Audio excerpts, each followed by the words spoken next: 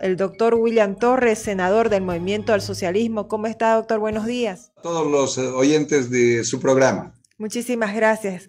Eh, doctor Torres, eh, las elecciones subnacionales dejaron diferencias fuertes al interior del movimiento al socialismo. ¿Cómo se explica algunas declaraciones de sus propios miembros y que incluso, por ejemplo, llegan al pedido de renuncia en el caso de Rolando Cuellar? Mire, Cecilia, lo primero que hay que establecer que el movimiento al socialismo es uno de los partidos más grandes de la historia de Bolivia. En los 195 años de vida que tenemos como, primero como república y luego y ahora como Estado plurinacional, ciertamente el movimiento al socialismo, reitero, ha sido y es el partido más grande. En un partido tan grande y tan diverso como es el movimiento al socialismo, ciertamente van a haber algunas eh, voces que no coincidan con la mayoría. Eh, la mayoría del, del, partido tiene claro que el compañero Evo Morales es el jefe histórico del movimiento al socialismo y es el líder nato e indiscutible de nuestro instrumento político. Eso está absolutamente claro, nadie lo discute ni lo discutirá, porque eso es así, eh, los hechos se han dado de esa forma y, bueno.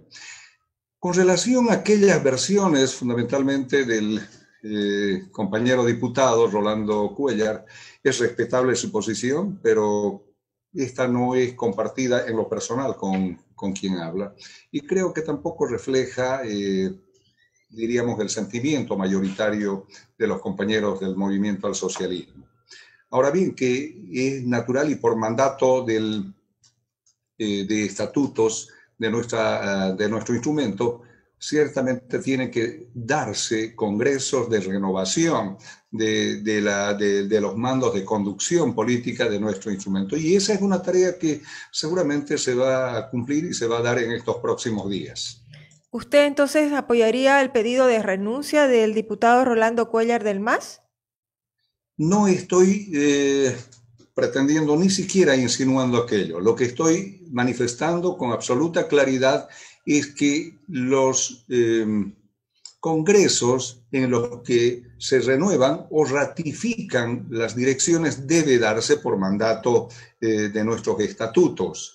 Y eso es lo que tiene que producirse. En estos eh, congresos, de hecho, eh, en algunos casos se ratifican y otros se renuevan. Y en el caso concreto del compañero Evo Morales, eh, es muy, muy, muy poco probable que él sea removido, removido de la presidencia nacional porque es nuestro jefe eh, histórico, es nuestro líder histórico y es el líder histórico no solamente de nuestra fuerza, sino que de las mayorías nacionales. El pueblo de Bolivia mayoritariamente así lo reconoce y en consecuencia eso hay que respetar, hay que respetar la voluntad también del pueblo.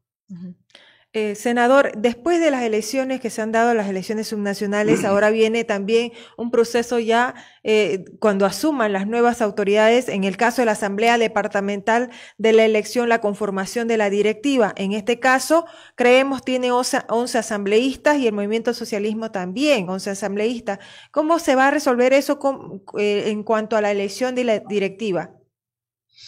El movimiento al socialismo tiene una línea político-ideológica absolutamente clara, tiene un plan de trabajo totalmente claro y es en esa línea en la que nos desenvolveremos. ¿Y qué establece el plan de trabajo? Establece definitivamente convertir a nuestro departamento en el principal polo de desarrollo de nuestro país tenemos todas las condiciones para hacerlo. No olvide que tenemos el proyecto eh, de la hidrovía eh, Puerto Buch, que esa es un, esa ese es un anhelo. Este senador en tiempos de campaña planteó aquello y estamos trabajando en este proyecto. Queremos convertir a nuestro departamento en el, eh, en el polo de desarrollo más grande y que creo que esta es la oportunidad y lo haremos. Haremos de que eh, la hidrovía se convierta en la alternativa para los productores y los exportadores para salir al Atlántico a unos costos mucho más bajos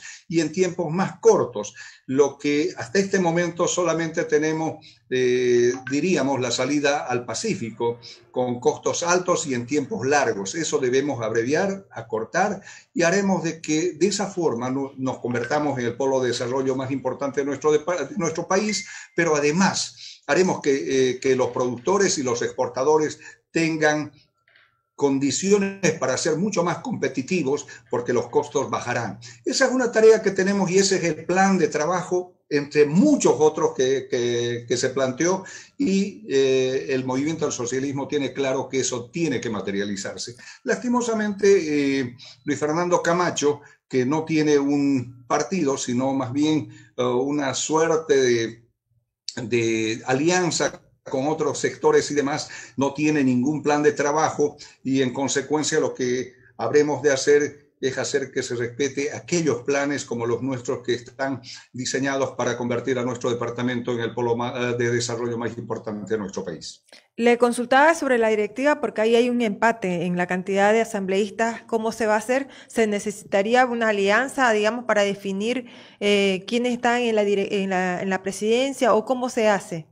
Si hay empate. En todo caso, en todo caso, esperamos que eh, no solamente somos las dos fuerzas, cierto que el MAS es la fuerza mayoritaria, es la que ha logrado el número, si bien es cierto, ha logrado un número importante eh, de asambleístas, pero si usted se eh, hace una suerte de análisis en cuanto a la votación en otros eh, en, otras provincias, ciertamente provincialmente nosotros eh, tenemos eh, una votación mucho más importante y considerable. Cierto que ellos han logrado una votación muy importante en la provincia de Andrés Ibáñez, que es donde se encuentra la mayor concentración poblacional, pero en el resto de las provincias tenemos una votación importante y en consecuencia, pues habrá que apelar al, a la actitud consciente y desprendida de, en este caso, de las otras fuerzas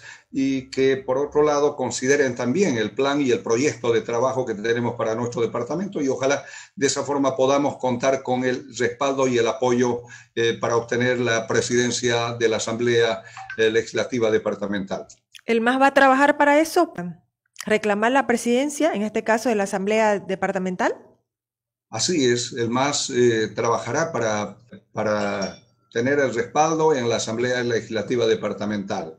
Eh, y creo que nos corresponde, eh, y estoy seguro que de darse esta situación, haremos el mejor trabajo legislativo departamental posible. Senador, pasando a otro tema, en las últimas horas ha causado sorpresa este tema de que ha salido a la luz pública de que en el aeropuerto de Chimoré se habrían realizado 36 vuelos sin ningún control. Eh, ¿Qué le provoca esta, esta noticia y además, usted cree que tiene responsabilidad o corresponsabilidad el ministro de Obras Públicas? Eh, ciertamente, como usted dice, es una noticia una noticia aún no confirmada. Esperamos que esto eh, sea confirmado. En todo caso, eh, como, como senador, en su momento haremos las peticiones de informe que correspondan para tener claro, en este momento, anticipar algún criterio creo que sería irresponsable cuando uno no conoce todavía aún si efectivamente es una una simple noticia o son hechos concretos, de, ser hechos concretos ciertamente, pues deberán tomarse las acciones que correspondan. El ministro, sin embargo, en las últimas horas ha señalado que la responsabilidad es del director de Asana ahí en Chimoré, es decir, ya eh, le está atribuyendo la responsabilidad de lo que pasó en ese aeropuerto.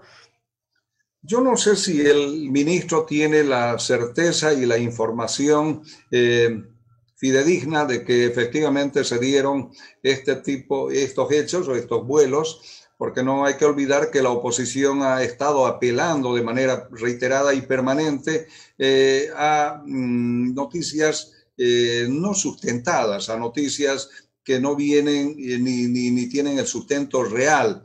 en todo caso, si el ministro ya tiene aquello, por supuesto, ya a las, a las peticiones de informes que se hagan, pues él de manera documentada nos hará conocer y en ese marco actuaremos como eh, asambleístas eh, nacionales. ¿Ustedes van a pedir un informe entonces? Por supuesto, eso es lo que corresponde, esa es nuestra labor fiscalizadora. Eh, seguramente no solamente lo haremos nosotros, habrán fundamentalmente, creo que esto eh, interesa a todo mundo, a todo mundo, a toda la población boliviana, eh, y estarán también comprometidos en esa tarea las fuerzas opositoras al movimiento al socialismo. Muchísimas gracias, doctor William Torres, senador del Movimiento al Socialismo, por la entrevista. Muy amable. Eh, Cecilia, como siempre, muy agradecido por la invitación y siempre a la orden. Un gran saludo a toda la audiencia de eh, de su programa. Muy buenos días. Buenos días, muchas gracias.